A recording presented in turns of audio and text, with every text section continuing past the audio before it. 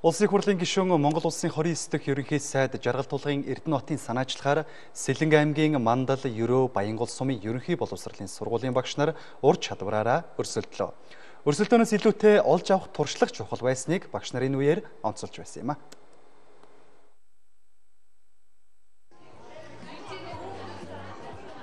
Орон нутаг танхуудаага багш нарын ур чадварын тэмцээн болсон онцлог юм.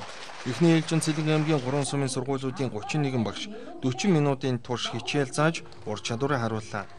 Багшийн хөгжлийн төвийн мэрэгжлийн шүүгч нар ажиллаж багш нарын арга барил ур чадвар хүүхдүүдэд хэрхэн хандаж сургаж байгааг шүүж түүний дараагаар багш нар арга барилынхаа талаар илтгэл тавьж өрсөлдсөн байна.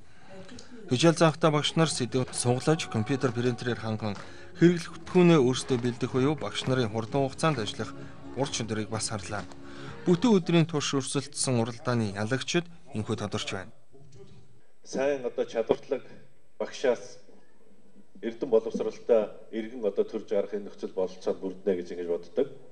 Биеийн ухааныг одоо багш үл хүнд төлөвшүүлж чадна.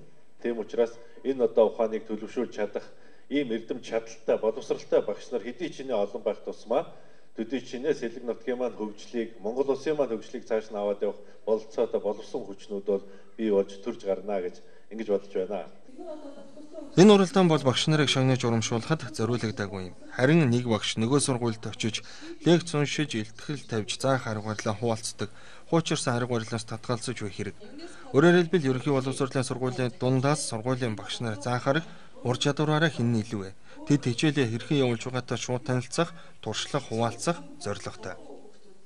За миний арга барил хүүхэд болгонтойгоо ер нь тулж ажиллана. За яг заадаг мэрэгжлийн хачуулын хувьд болохоор өмнөх мэдлэг дээр хуудлаад мэдлэг бүтээлэх аргыг бол ер нь сургалтанд ашигладаг. Энэ аргыг хэрэглүүл хүүхдэд бие даах чадвар нь илүү өсдөг, хөгжих төв илүү байдаг. Хүүхэд бол цэцэгс. А яагаад тэгэхээр бид нар хүүхдийг бол жинхэнэ цэвэр хөрсөн дээр тарьж ургуулж эхэлдэг. За тэр цэцгийг яаж ургуулах нь бол зөвхөн багш биднээс шалтгаална. За ингээд зөв талаас нь зөв бордоод ургуулж чадах юм бол тэр зөв үнэхээр сайхан дэлбэлнэ.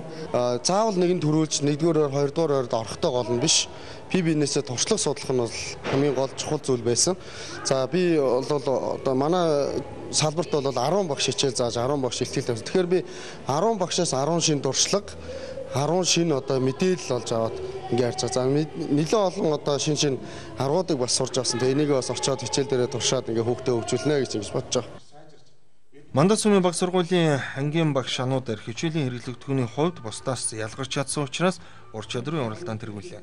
Багангийн сурагчдад зураг сэлт үзүүлснээс илүүтэй бүтээч сэтгэлгээг дамжуулан сургах арга барилыг илүүтэй гэж тооцсон байна.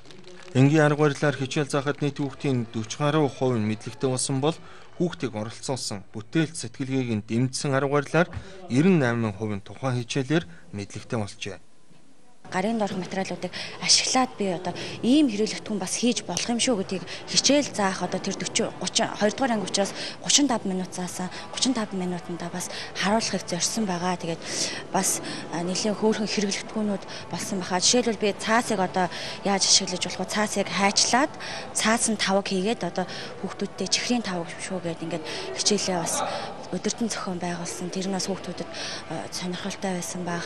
За тэгээ жижиг жижиг дэр дундаас одоо цаасыг хайчлахад э, илүү гарсан жижиг цааснуудаараа эргээгээд одоо базаад попкорны хэлбэрт оруулаад ахаад нөгөө нэг тэрэндээ одоо бодлого болгоод бичээд э, попкорн эцгээ гэдэг ч юм уу ийм байдлаар одоо хичээл бас өдөртөн зохиолсон байгуулсан. Энэ жилийн уралдаанд оролцсон багш нараа болгоны хичээлийн дүрс бичлэг болон заах арга барилын бэлтгэц болж байна. Эрэгчэл дараагийн багш нар оролцож ур чадвараараа дахин өрсөлдөнө. Багш нарын ур чадварыг дагаад хүүхдийн сурах чадвар, итвэх нэмэгдэж өрсөлдөх чадвартай аймаг орон нутгийнхаа нэрийг гаргах боловсон хүчин бэлтгэн гаргах зорилготой юм а. Ажлын их өндөр амжилтыг хүсэн гэрөө сувд мэд